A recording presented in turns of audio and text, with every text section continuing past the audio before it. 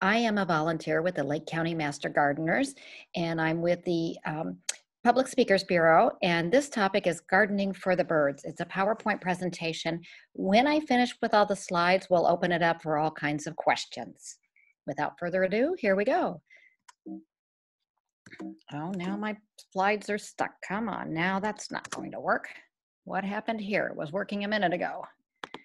There we go. Attracting birds involves more than putting out a bird bath or a feeder. Bird feeders are fine, but they benefit specific species and only when they're kept full. And I don't know about the rest of you, but I am filling my bird feeders every day right now because we have a lot of birds that are using it. Birds require specific habitats. They like open meadows. They also need shrubby areas and forests. Habitat loss is the greatest threat to our land birds. For example, forests that are divided by highways or power lines allow predators like the grackles and the jays access to the eggs and chicks of forest interior birds. Creating a bird habitat in your own yard will help and will be especially helpful if your neighbors follow your lead. Birds and plants have evolved side by side. Birds eat the fruit and nectar, pollinating the plants and dispersing seed. As the seeds pass through the bird's digestive tract, they remain intact and the seed coat is scarified, which means it's scratched. And that's improving the chances of germination. Um, for those of you who are gardeners, you'll know a lot of the seeds before you sow them, you actually have to scratch them so that they can get out of the shell a little bit more easily. Uh, bird excrement is also high in natural fertilizer, which is nitrogen. Plants have evolved in ways that assure the appeal of their fruits to birds. Most trees and shrubs have small fruit, no more than 3 fifths of an inch in diameter, just the size of a bird's gaping bill. Many fruits ripen when bird migration hits its peak, or when the young are just searching for their first meals. The majority of plants that depend on birds to distribute their seeds produce very brightly colored fruits. Uh, this is an example of the serviceberry fruit that comes from the serviceberry bush. Plants usually put on their fruit display at the same time they are producing sugars or fatty lipids. Those are nutrients that serve no purpose for the plant, but they do attract flocks of seed dispersing birds. And here's a variety of different ones grasping the um, seeds that you see. Brightly colored fruit is a magnet for fruit-eating birds such as thrushes and catbirds. Plants ripen in different seasons. Now we're going to talk about some spring and summer plants. Sweet fruits such as serviceberries, wild cherries, mulberries, and strawberries. The timing of the fruit for fall. Migrants such as thrushes, tanagers, warblers require fatty fruits to fuel their migration. A few favorite, favorites include spicebush, magnolia, and flowering dogwood. This is a picture of a scarlet tanager. The timing of fruit for winter. Fruits of mountain ash, hawthorn, and viburnum have a low lipid content, making them less desirable to the fall migrants but also they are less likely to turn rancid and rot on the plants. These fruits are especially important when late snowfalls prevent returning migrants from finding insects or worms.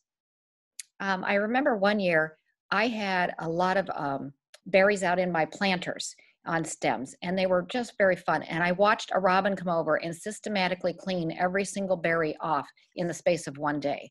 She was really enjoying the fruits of her labors. Natives. Plant natives and avoid the invasive plants. Native plants are more likely to provide a mix of food of the right size and nutrition and at the right time of year. Now we'll talk about 12 ways to design a bird-friendly garden. Recreate layers of plant growth. Canopy trees in the forest create an understory for smaller trees and shrubs, such as spicebush. Vines like Virginia creeper provide cover and food. Select plants with fruits that ripen at different times. In the spring, the parents get their energy from foods like the blackberries and the wild cherries. In the fall, as we talked about earlier, the migrants require the fatty fruits such as flowering dogwood and spicebush to fuel up their bodies to make the long migration out.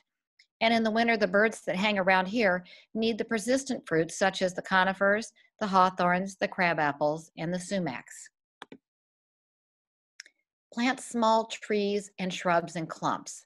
Uh, clumps provide highly visible mass displays of fruits.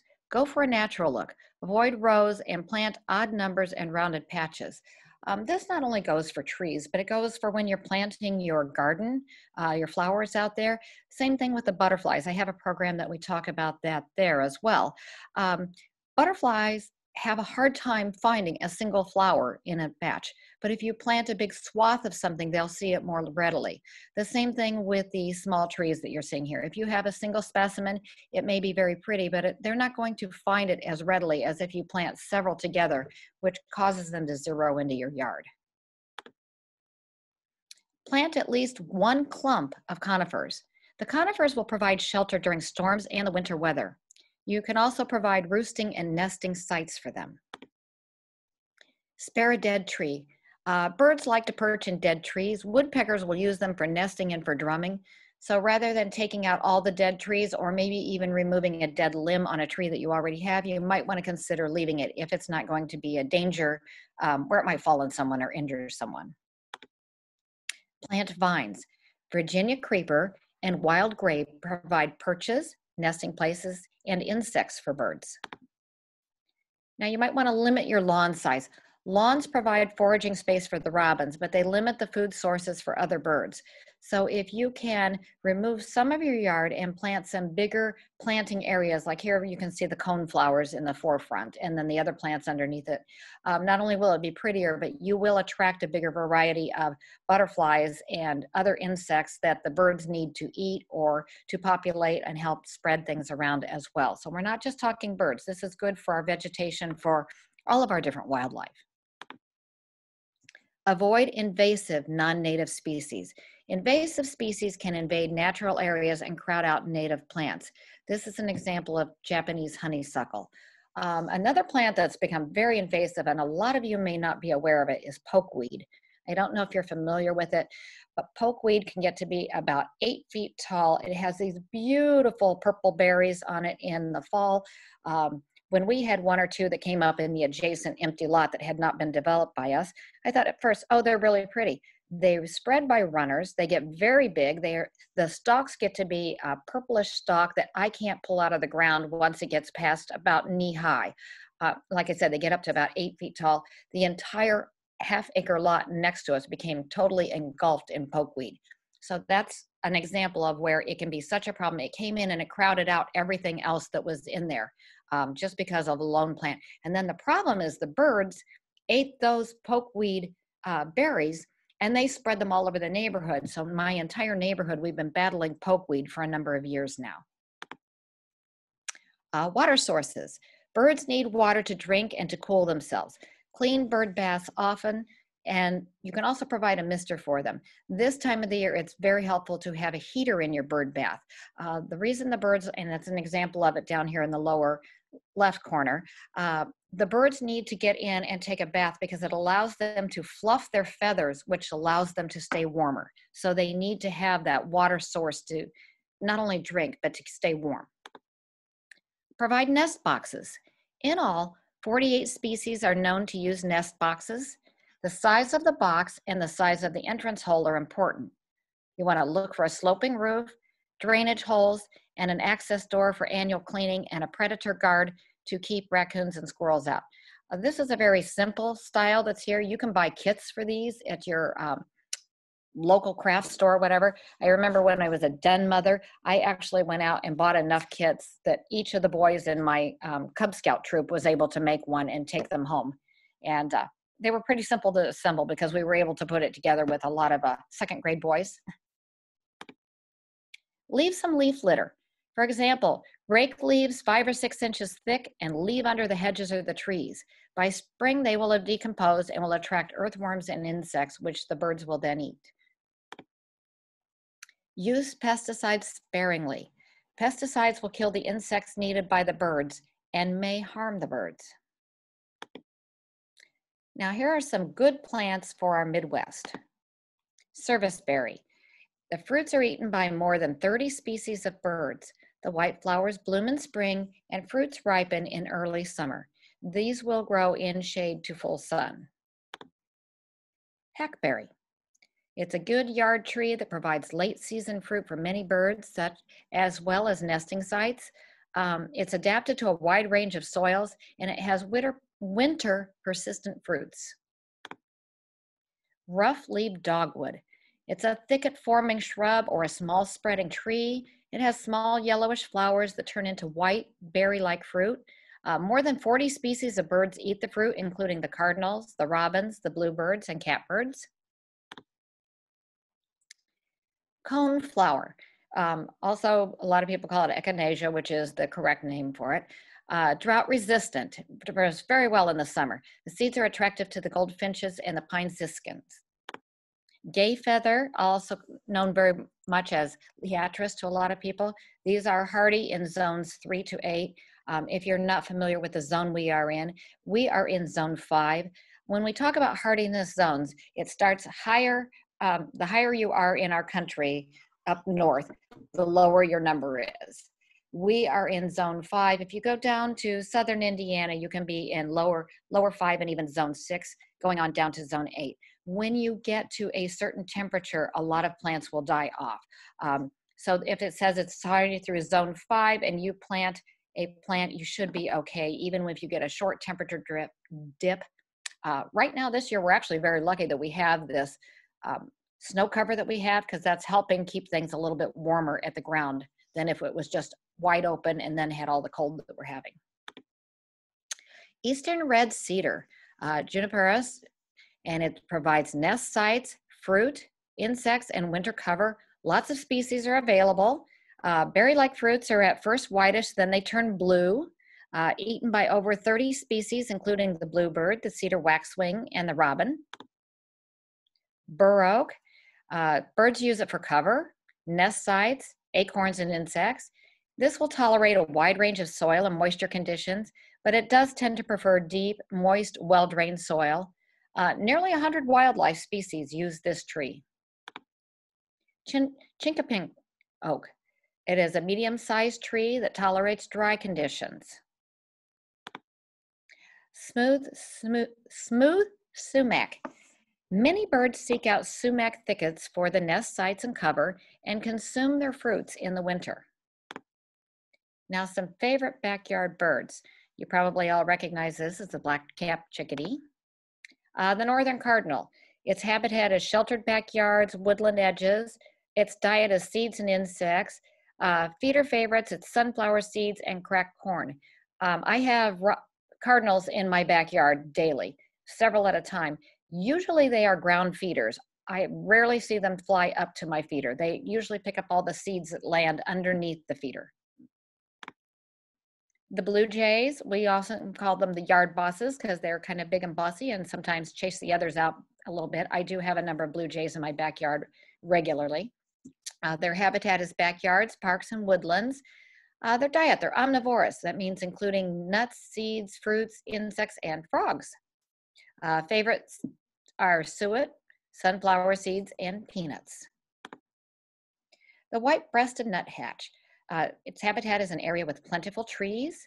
Its diet are insects and larvae, pine, fir, and maple seeds, juniper berries, oak, beech, and hickory nuts. Uh, the feeder favorites, if you're putting them in, are sunflower seeds, unsalted peanuts, bird seed mix, and suet. The downy woodpecker. Uh, we have lots of downy woodpeckers that come into our yard daily. They really love the um, variety that we keep in our feeders. Uh, open, their habitat is open wooded area, including parks and backyards. Their diet is insects, caterpillars, berries, and nuts and they really like suet and peanut butter, but I've been using a um, mixed seed that they seem to be eating a lot of. As it has the black oiled sunflowers in, and I have actually gotten the ones that are already shelled because then I don't have so many mountains of shells underneath my seed feeder when I'm finished in the spring. Because I used to shovel out garbage cans full at the in, end of the season. Uh, the American robin. Uh, habitat is yards, fields, farms, and woods. Its diet is earthworms, also eats insects, berries, and seeds. The feeder favorites are fresh fruit, raisins, hulled sunflower seeds, which is what I was talking about earlier, and peanut butter. And then I have been noticing on Facebook, a lot of people were posting, why am I seeing robins now? I thought they only came in the spring. I thought they were migratory bird, etc. And they are not necessarily a migratory bird. So I looked up something this morning and I thought I would read it to you. You might find it of interest. It says, as with men, and this is from um, All About Birds. As with many birds, the wintering range of American robins is affected by weather and natural food supply. But as long as food is available, these birds are able to do well for themselves by staying up north. One reason why they seem to disappear every winter is that their behavior changes. In winter, robins form nomadic flocks, which can consist of hundreds to thousands of birds. Usually these flocks appear where there are plentiful fruits on trees and shrubs such as your crab apples, hawthorns, holly, juniper, and others. When spring rolls around, these flocks split up. Suddenly, we start seeing American robins yanking yar- worms out of our yards again, and it's easy to assume that they've, in quotation marks, returned from migration. But what we're seeing is the switch from being non territorial in wintertime to aggressively defending a territory in advance of courting and raising chicks. This behavioral switch is quite common in birds. So I thought maybe that would be helpful to some of the people who were posting all the questions about it on Facebook. An oriole, the habitat, it's deciduous woodlands, parks, and the suburbs. Uh, their diet is mostly insects and berries. Feeder favorites are sugar water, halved oranges, nailed to posts, and grape jelly. Um, where we live um, I don't have Orioles all summer long. I get them for a very brief time as they come through in the spring, and then when they travel back through in the fall. Uh, we go to visit some friends of ours up in northern Michigan, and they have a huge flock of Orioles that come to their feeders all day, every day. And so it kind of depends on where you live as to how you're going to get them. The black-capped chickadee, which we saw earlier, it's wooded suburbs and open woodlands. The diet is insects, berries, and seeds, and the feeder favorites are sunflower seeds, suet, and thistle. This cedar waxwing habitats are backyards, parks, and open woodlands. The diet is fruit, tree sap, flower petals, and insects. And the backyard favorites that they like are berry producing trees and shrubs like the firethorn, the high bush cranberry, and the mulberry. And if you notice, those are very different bushes and things than we have been mentioning in the past. Uh, the eastern bluebird Habitat is open backyards and farmland. The diet is insects and berries, and the feeder favorites are live mealworms. The American goldfinch. Its habitat is open areas like yards, fields, fence rows. The diets are seeds and berries, and the feeder favorites are thistle seed, whether they're on your um, uh, echinacea cone flowers and pulling the thistles out that way, or you can actually put the thistle seed in your thistle seed feeder and feed them that way as well. House wrens. The habitat is backyards, parks, and open woods. The diet is insects. Backyard favorites are birdhouses with one and one eighth inch entrance holes. And indigo bunting. The overgrown fields, orchards, thickets, and open spaces near woods. Their diet is seeds, insects, grains, and berries. And the feeder favorites are thistle on the ground or in a tube feeder, and it does like bird baths a scarlet tanager. The habitat is trees and shrubs along gardens and parks. The diet, it forages in trees for seeds, insects, and fruits. And the feeder favorites may come to feeders for sunflower and safflower seeds. This is a tufted titmouse. The habitat are trees and shrubs along gardens and parks. Its diet it forages in trees for seeds, insects, and fruit. And the feeder favorites are sunflower and safflower seeds the red-headed woodpecker. Its habitat is open woodlands. It seeks out areas that are free of underbrush. Its diet is insects, berries, and nuts, and feeder favorites include cracked sunflower, seeds, and suet. And this is the source information that I use for getting all my materials together here. Um, this particular program was actually put together by my good friend Diane Fruth. Um, she's a neighbor of, was a neighbor of mine. We lived uh, a couple houses away from each other, and she has since relocated to um, Florida. But we have much of the same habitats in our yards and many of the same birds that visit. Do we have any questions? Is anybody there?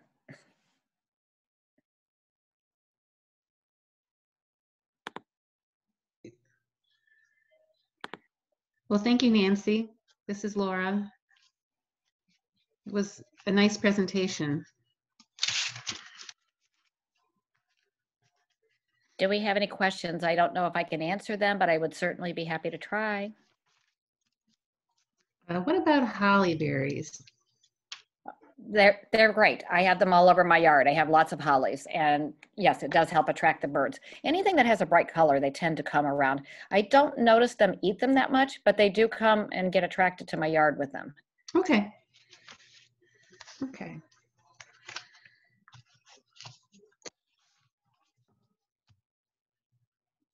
We have a quiet group out there today. You, you talked about peanut, peanut butter. Yes. How do you, how do you put the peanut butter out?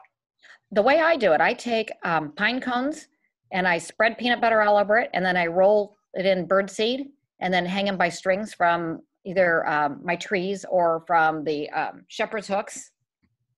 They actually love to come eat it that way. And how do you keep the squirrels from eating it all before the birds even find it? Well, that's a challenge because they do tend to do it. The only that's why I said rather than putting it in the tree, I tend to put it from a shepherd's hook in the middle of my backyard where they can't leap from the trees, and then I have a big squirrel baffle around it so they can't get up the pole. Um, when I'm putting my suet cakes out, I actually have to put two suet cakes out because I have a lot of squirrels in our wooded backyard, and they will strip out a suet cake a day for me. So I try to leave one for the birds and one for the squirrels. But you have to remember squirrels can climb just about anything. So the baffle that I have on mine, I inherited one from, again, I have a lot of neighbors who've all relocated to Florida, so I have inherited a lot of things from them. The one that I inherited was a shepherd's hook that has a big baffle. I would say each it's a circular one, so it's like a big metal plate that extends out around it. And I would say it, it extends probably close to a foot out all the way around, so they can't get up and around, and it wobbles on there. So if they try to climb around it, they can't. And I literally have to put it in the middle of my very backyard so that they can't leap from any other trees to get over onto it. Well, the, the squirrels don't like thistle, so that's no problem where we have thistle feeders out. Right. But the biggest Uh, challenge, Go ahead. all the other kind of bird feeder we have, the, the biggest challenge is the squirrels. Okay, and I have two. So what I have switched to, I have two two different types of feeders out there. I have a thistle feeder and I have the sunflower feeder.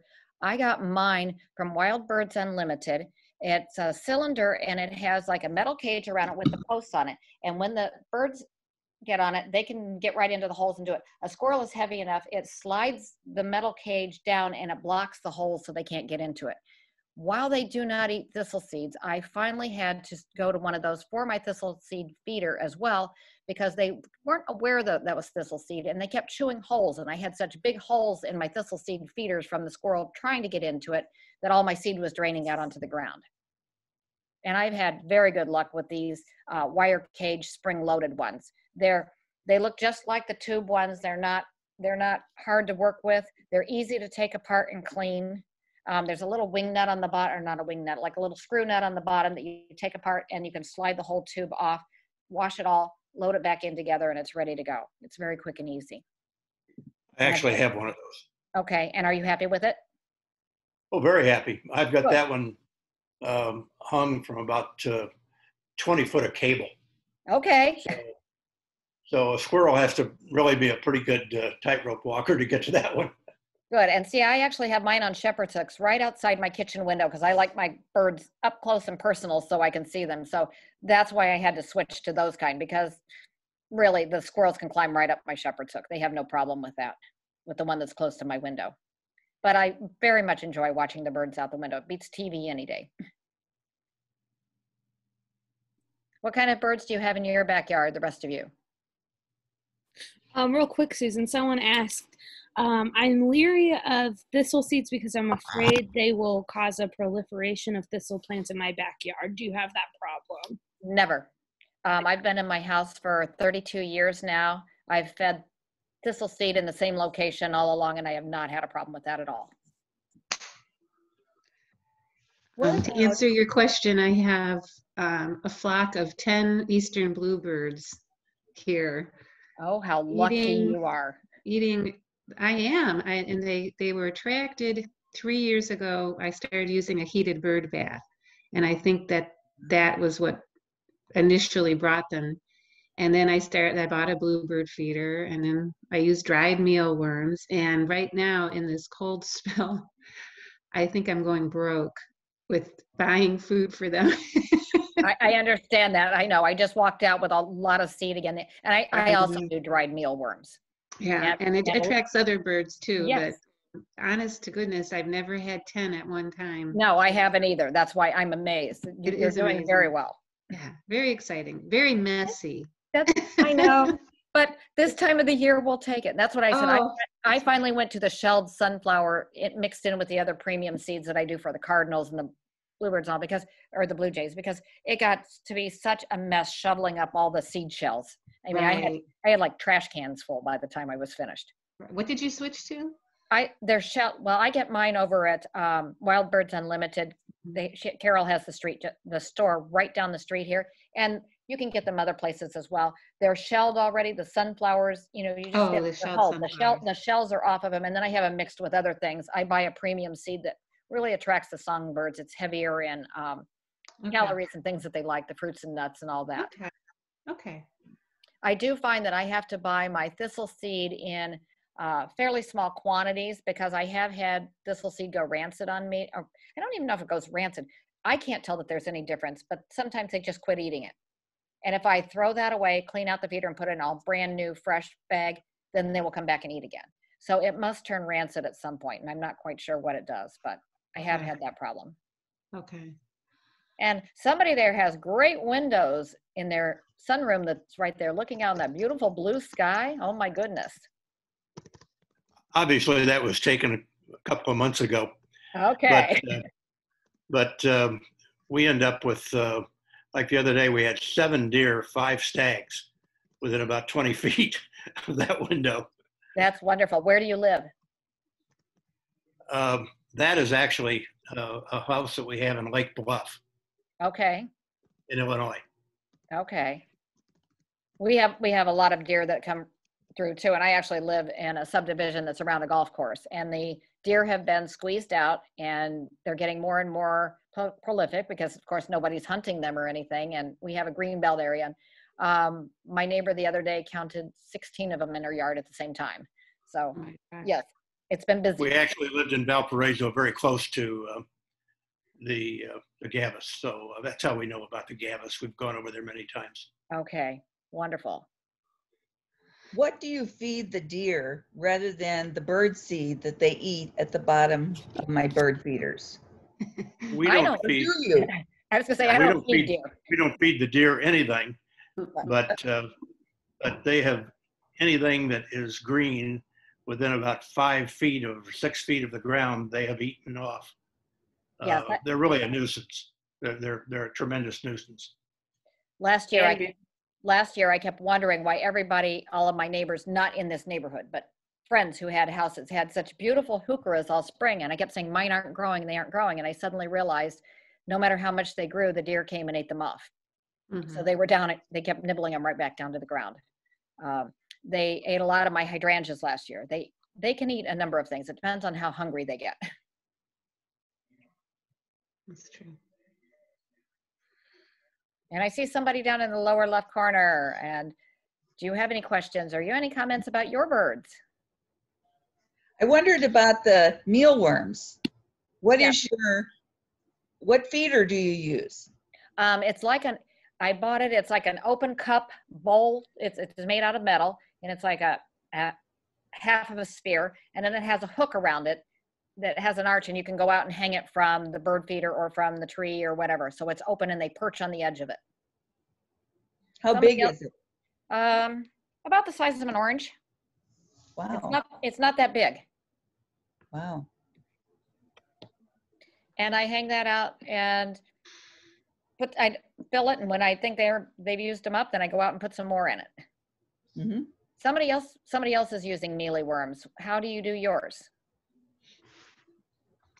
I use the dried ones Right, that's what I use.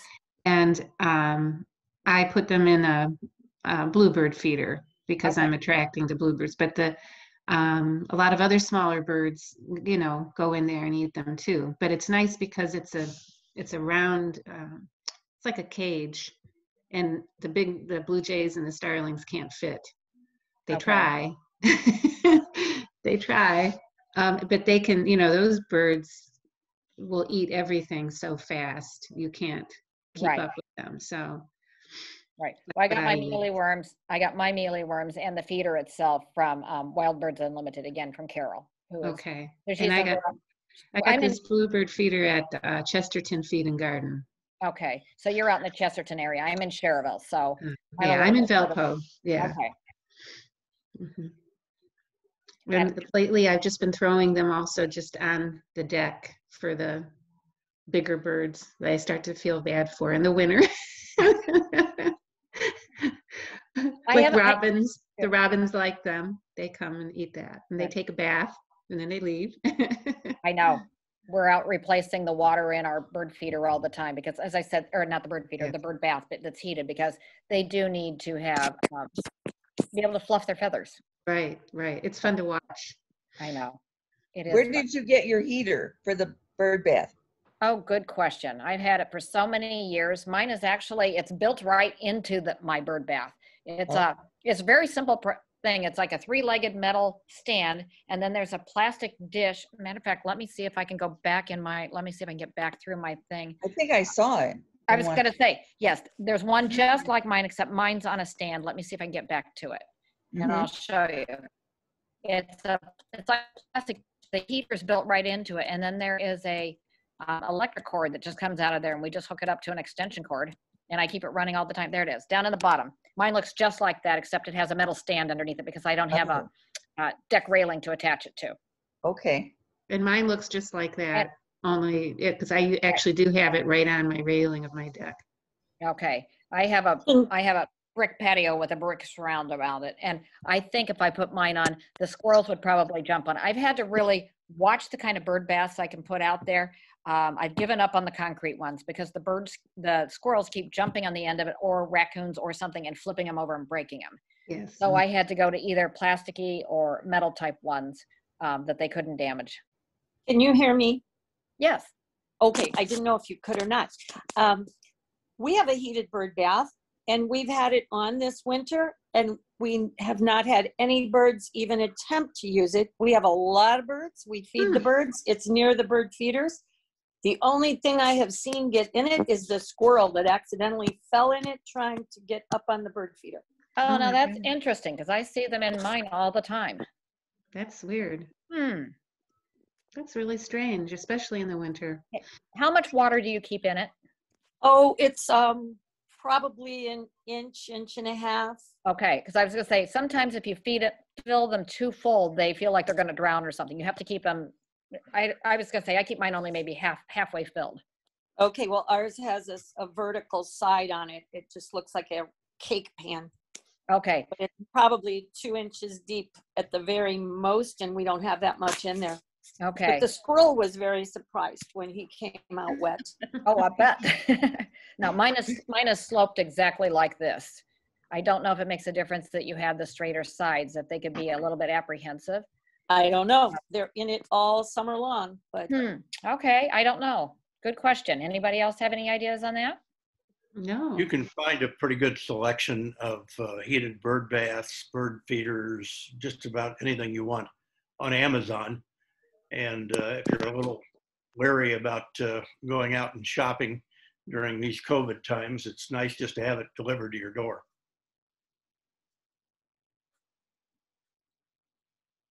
What doesn't Amazon have, right? I know, isn't it, isn't, isn't it amazing how for years everybody relied on um, Sears Roebuck and all those places, and then we got away from all that, and all of a sudden we're back into catalog shopping and delivering again. Right.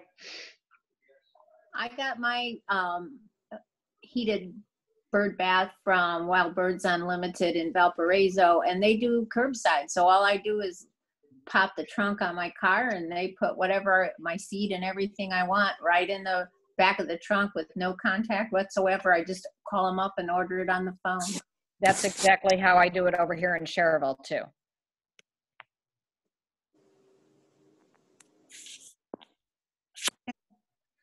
I don't have any electricity that goes outside Okay. in order to do it. So it would have to be something that's Hmm. sun, you know, solar. Sure. Has anybody used a solar one? I don't know. And around here, I don't know if we get enough sun to keep it going with this kind of temperature. hmm Because some days we have a lot of sun, but there are other days where it's just cloudy, overcast all the time. So I don't know about that. Okay. Um, a, a place to ask, I would call like Wild Birds Unlimited or something where they're very knowledgeable and ask them. They would be a good source of um, knowing that for you. okay. Thank you. I don't know how many people we have on here. I see four people besides me. Is that it? Well, that's all the pictures I see. I Some don't know. people left, but there was about like 25, I think. Yeah, Oh, right. you have Yeah, about 20. 25. It says 18 right now. Oh, yeah. Oop, Okay. Seven. Well, I'm only seeing pictures for this many. That doesn't mean they're not here. I just. that's what I'm Right. Does anybody else have any comments or questions, or do they want to tell us about the birds in their yards? Well, we have a lot of birds, and right now, this very moment, on the little lake behind our house, we have an eagle eating something. We can't Oh. tell what, Oh, Oh, that's that's neat. exciting. but we were watching the eagle. Wow, that's something. And where are you located that you have eagle? Um, in Shorewood, out in outside of Valpo. Sure, I know where Shorewood is. So Very it's a much so. little lake, and it's all frozen. So the eagle is out on the lake. Great. Oh, that's wonderful. I remember going out to Gabis Ar- um, Arboretum, oh, many years ago on a snowy day, very similar to this, and going along a stream, and there was a huge stand of red twig dogwoods, and then a big stand of yellow twig dogwoods, and then another stand of red twig dogwoods, and they were just glowing in the sunshine. I'm assuming they're still there. Has anybody been out to see those gorgeous twigs? There are a lot of red twig dogwoods there. I do a lot of volunteering there. There are a lot of there are a lot of red twig dogwoods. I just remember how stunning they were. They had done And a a great job of giant- keeping them pruned. and a giant coyote. Mm. Saw a huge coyote there one day.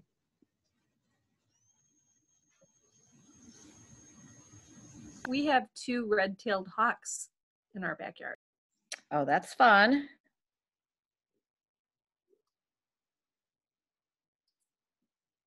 And you always know when the hawks are around because all of the other birds suddenly disappear.